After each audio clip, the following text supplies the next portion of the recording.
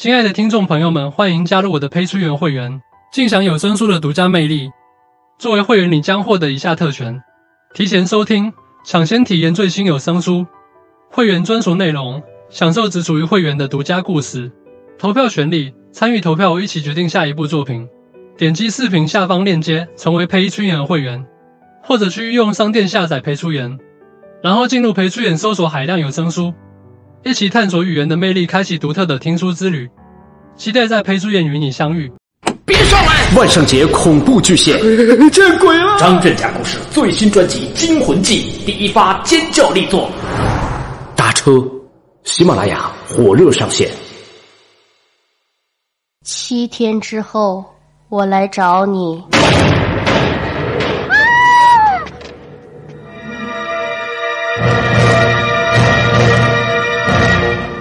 下面这个故事的名字叫做《午夜铃音》。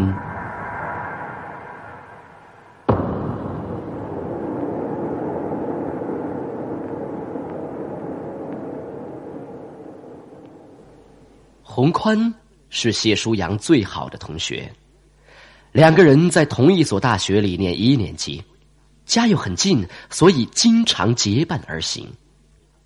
今天是星期六，晚上九点多钟，洪宽如约来到了谢舒阳的家。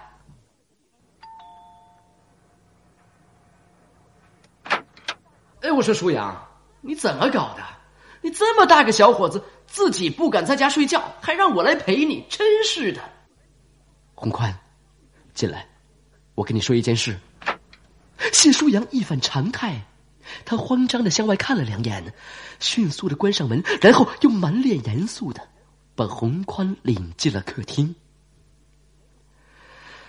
洪宽，你千万要好好听我说，这可是性命关天的事情。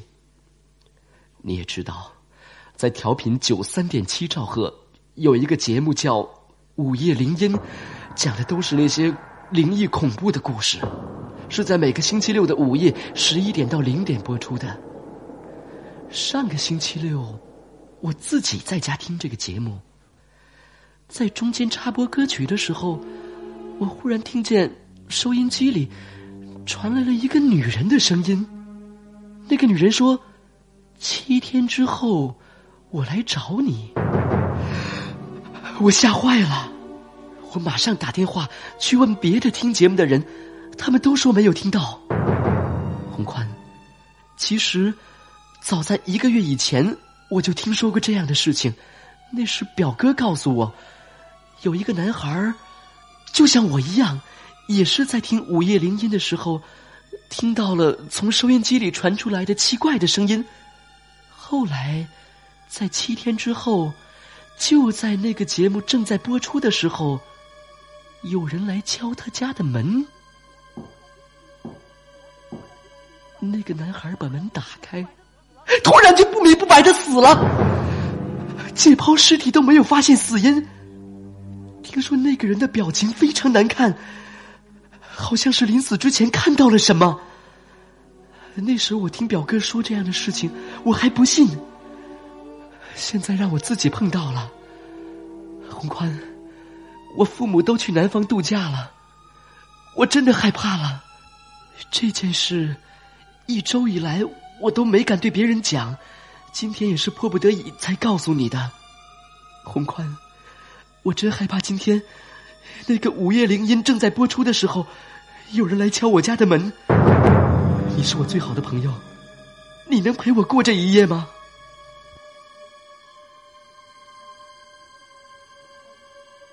洪宽呆住了。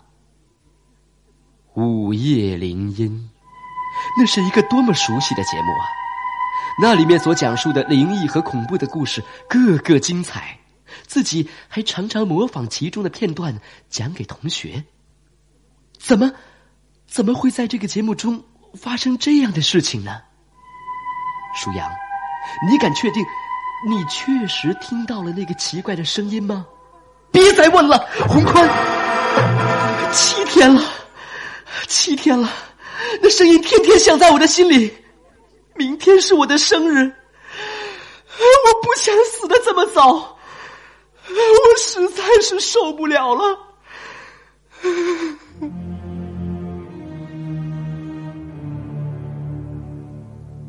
洪宽没再说什么，他知道谢舒阳从来不对自己撒谎。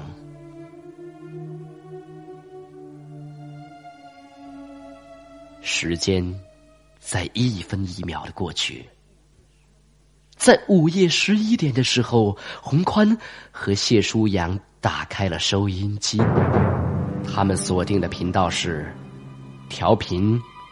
九三点七兆赫。原来，刚才通过一个多小时的反复研究，他们决定今天晚上共同来听这个午夜铃音的节目，看一看是否能够发现什么线索和怪异的现象。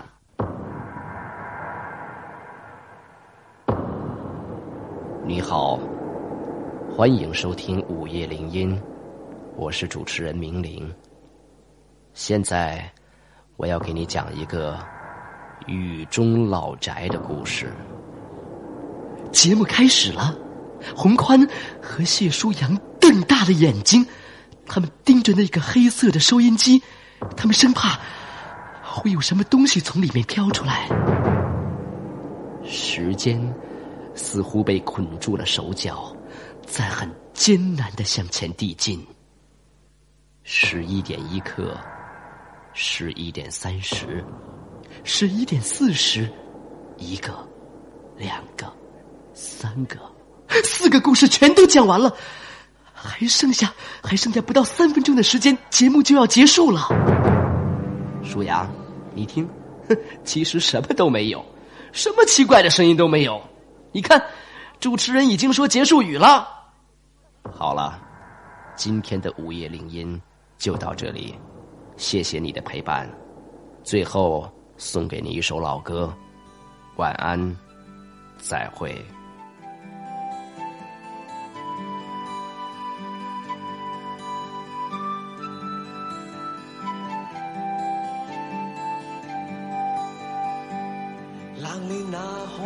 歌声响起了。洪宽和谢舒阳长长的出了一口气。舒阳，放心了吧，节目结束了。呃，也许全都是幻觉，别在意了。明天，明天我好好给你庆祝生日，忘了他吧。洪宽，有你在我心里就好受多了。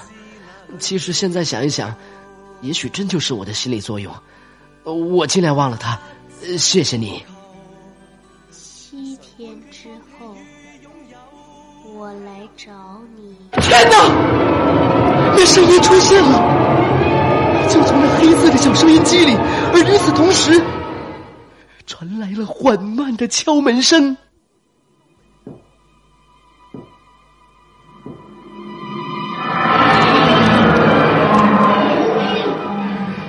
谢舒阳已经在客厅的墙角里缩成一团了。舒阳，舒阳，你别怕，我去开门。洪宽强作镇静的走向大门。谁？谁呀？送花的。一个女孩子的声音出现在门外。送花？这么晚了送什么花？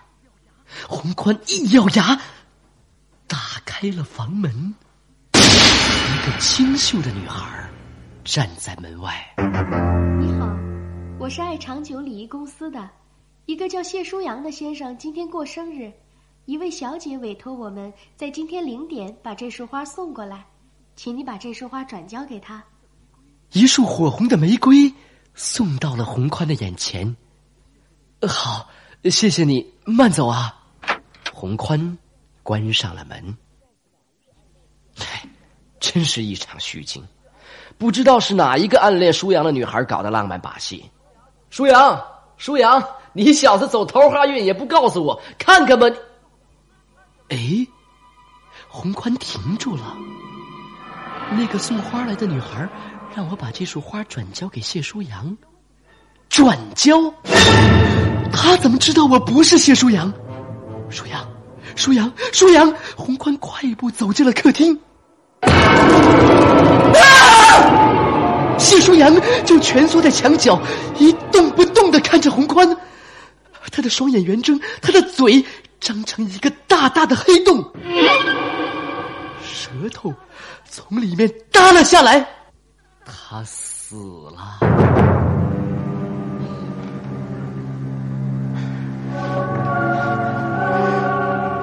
舒阳，舒阳，舒阳。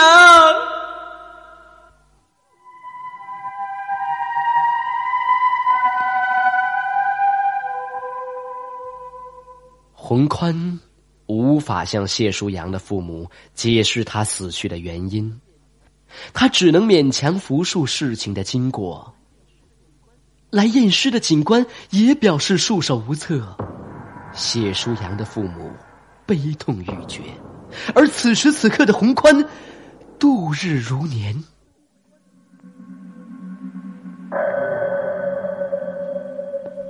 就在那个晚上。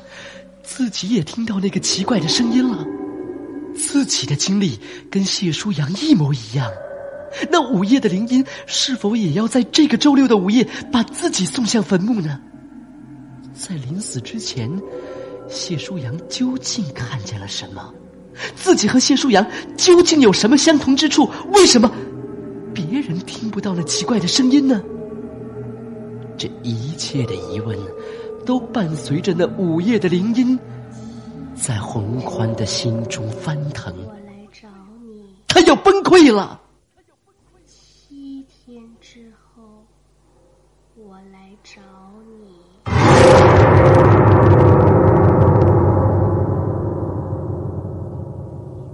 今天是星期五，上午的课还没有结束，洪宽就离开了学校。他飞一般的跑到了位于市中心的电台，这是他一周来能够想到的唯一的办法。到电台找那个叫明玲的主持人，也许只有他才能知道真相。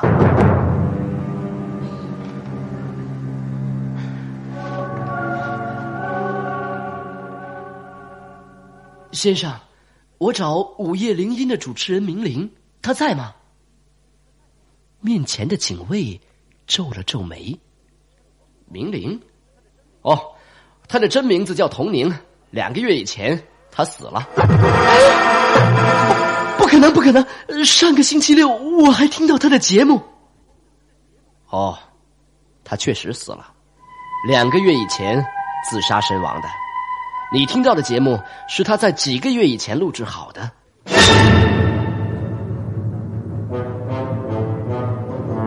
这，这这怎么可能呢？洪宽绝望了，只有一条路了。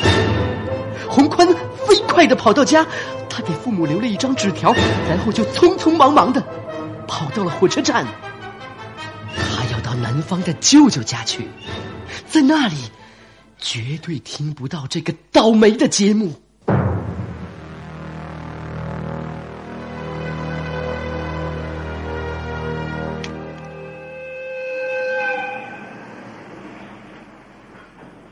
火车几乎开了一个晚上和一个白天。到舅舅家的时候，已经是晚上八点多钟了。洗了脸，吃了饭，啊，洪宽悠闲的躺在床上看着电视。他坚信，恶魔之手绝不会伸到这里来的。迷迷糊糊的，洪宽睡着了。洪宽，洪宽，醒醒，醒醒！嗯嗯，干什么呀，舅舅？是舅舅走了过来。哦，洪宽啊，我忘了告诉你，今天下午有你的一封信寄到这儿来了，你看看。什么？我的信？怎么会有我的信呢？我刚来呀！洪宽一下坐了起来。是啊，洪宽，我也纳闷呢。你自己看看吧。信拿了过来，那是一个白色的信封，打开，里面是暗黄色的信纸。你好，我是明玲，我不在了。既然你来找我，我可以告诉你事情的真相。以前曾经有很多人告诫过我，要我停止做那个午夜的节目，因为它会使许多人无端的恐惧，产生幻觉，造成不该发生的事故。但是为了利益，我没有听从劝告。两个月以前，我的女儿因为听我的节目而精神恍惚，死于车祸。于是我要求电台马上停止播放我的节目，但是为了利益，他们拒绝了我。我精神崩溃，自杀，死了。就在两个月前，但是我不会就此罢休的。我需要一些人相继的死去，因为他们总是在模仿着我的声音，我的节目。他们会为别人造成更多的伤害和麻烦。他们一定要死，在死之前。他们会看到我那个血肉模糊的女儿。好了，现在你去开门吧。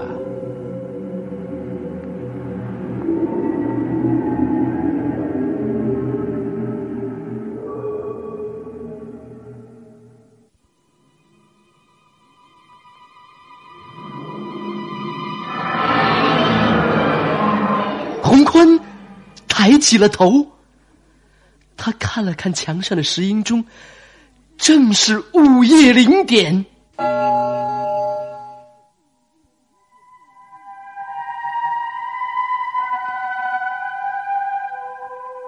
然后，他听到这样的声音从外边传来。